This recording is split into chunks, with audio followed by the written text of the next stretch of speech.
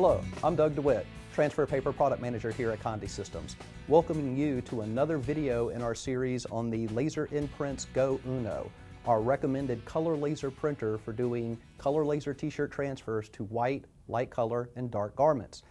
Now, while this printer is capable of producing some great looking prints, and even in full coverage such as this, the one question I'm commonly asked when it comes to the LaserMPrints Go Uno is, how much does it cost to generate a print off of this unit?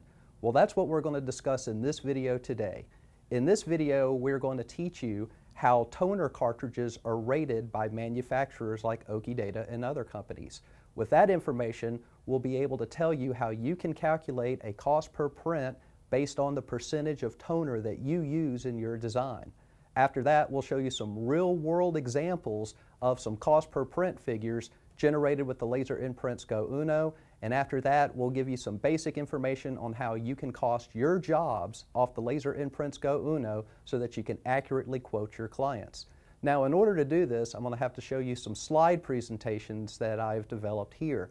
I know slides are boring, but they're necessary in order to explain what is happening. So let's jump over to the monitor and we'll begin. In our first slide here, we have information provided to us by Okidata, who is the manufacturer of the LaserMPrints Go Uno print engine. In this slide, they are giving us a lifetime total cost of operation, comparing the LaserMPrints Go Uno color laser printer to a Hewlett-Packard Color LaserJet CP4005DN, an HP Color LaserJet 5550DN, and a Xerox Phaser 7400DN.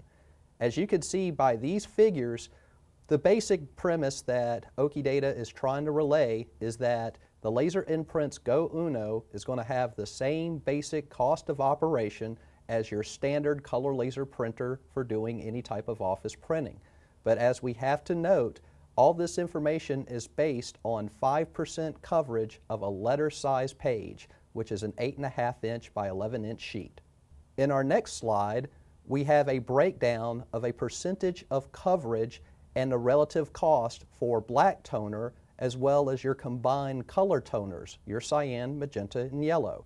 Again, we start at a 5% coverage and base the cost for the black toner and the cyan, magenta, and yellow toner combined. What we do here is we run a linear progression based on 5% coverage all the way down to 100% coverage on an 8.5 inch by 11 inch sheet. So as you can see, as the percentage of coverage increases, your cost per print for your black as well as your cyan, magenta, and yellow is going to go up. To give you a realistic figure, 25% coverage for cyan, magenta, and yellow and black would represent about 100% total coverage on an 8.5 inch by 11 inch print. You can ignore the figures going below 50 to 60 percent because any combination printed with that quantity is going to result in a very muddied image and is not a realistic goal. So most of your projections will probably fall somewhere between 5% to 25% coverage. In our next slide, we're demonstrating the LaserMPrints Go Uno estimated cartridge life. Again, this is based on a toner cartridge that's rated at 8,000 pages at 5% coverage over an 8.5 inch by 11 inch sheet. What this slide demonstrates is that when we move from 5% coverage to 10% coverage, which is doubling our output, we have to drop our approximate yield per toner cartridge. So once we move from 5% coverage to 10% coverage, our yield is cut in half from 8,000 prints on an 8.5 by 11 inch page down to 4,000 prints. Again, if we double the coverage from 10% to 20%, we must cut our yield in half, dropping from 4,000 prints to 2,000 prints, and so on. So basically, if we printed 80% coverage of every color on every 8.5 inch by 11 inch sheet, we'd probably only get about 500 prints out of a full set of toners. But then again, that's an unrealistic yield. More often, you're probably going to be looking at between a 20 to 25% coverage rate, which will put your yield between 1,600 to 2,000 prints on an 8.5 inch by 11 inch sheet. In this slide, we're demonstrating what is 5% coverage. Well, if we take the surface area of an 8.5 inch by 11 inch sheet, we get 93.5 square inches that we need to cover. A 5% of that figure is going to be a square of about 2.15 inches. This would represent 5% coverage. So if we had an 8.5 inch by 11 inch sheet and we used exactly 5% coverage of cyan, magenta, yellow, and black, we would get approximately 8,000 prints if we used a full set of toners and printed the same design until all four toners ran out. By our estimates, you are getting a cost per page of about 11.65 cents if you used 5% coverage of cyan, magenta, yellow, and black. Again, 5% does not relay a realistic expectation of what people are using the LaserMPrints Go Uno to generate, which is full color printing. So let's jump to our next slide for a better example. In this slide, we have set up a graphic where we have taken an 8.5 inch by 11 inch surface area and divided it into four equal quadrants, each quadrant being four and a quarter inches by five and a half inches. What we've done with each quadrant, if we have filled each quadrant with an equal portion of cyan, magenta, yellow, and black. This is a good representation of what a full coverage print would produce. As you can see here, we now go from a cost per print to about 16 cents per color for our cyan, magenta, and yellow, and about 11 cents for our black. So, if we base this out over the lifespan of a toner cartridge, you're looking at approximately 1,600 prints out of a full set of toners on 8.5 by 11 inch sheets if you started with a full set and produced the same design until all four toners ran out, giving us a cost per print of about 58 and a half cents to generate this design. In this slide, we're giving you a real world example of an estimated cost for coverage of toner.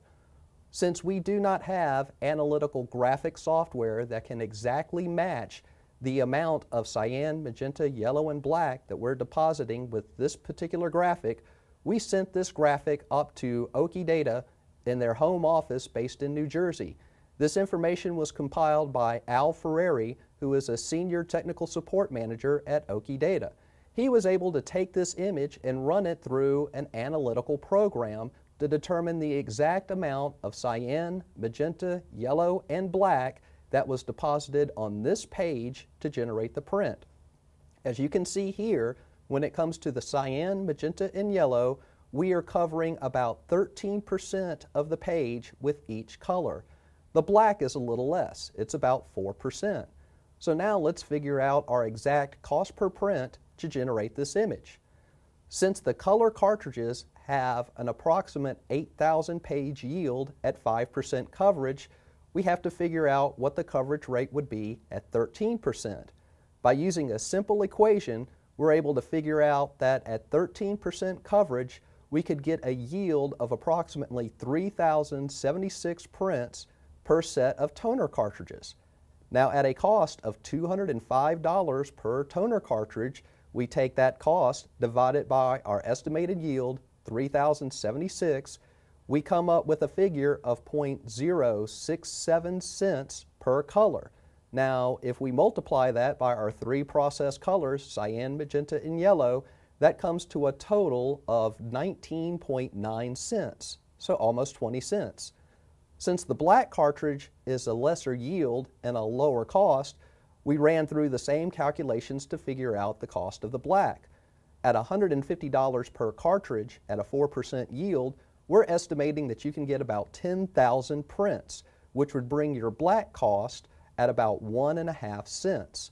So if we add up our cyan, magenta, yellow, and black toner, this print would cost an estimated 21.4 cents to produce. Now let's quickly review what we've learned today in regards to toner coverage and estimated yields out of a set of toner cartridges for the Laser and Go Uno.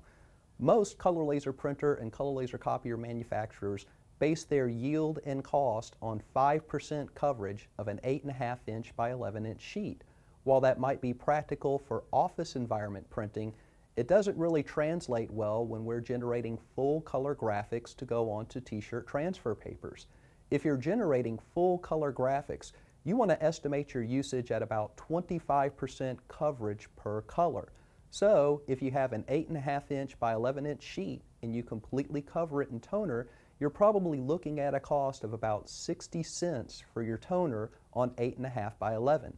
If you were to do a full bleed 11 by 17, you need to double that cost to about $1.20. Factor in the cost of your transfer paper, and that should give you a worst case scenario pricing when it comes to costing your jobs for t-shirt transfer paper. Also remember that these figures are estimated figures. It's almost impossible to gauge exactly how much it's going to cost to print or your exact yield out of a set of toners unless you have some analytical software to do so. So remember your figures of about 60 cents per print for 8.5 by 11 and $1.20 per print for 11 by 17, and that should be a safe figure to quote any job that might come your way. However, if you have any questions about the material we discussed or you'd like additional information, don't hesitate to contact us directly at 1 800 826 6332, or you can visit our website at www.conde.com for more information. Until then, my name's Doug DeWitt, Transfer Paper Product Manager here at Condé Systems. My time is up, and I thank you for yours.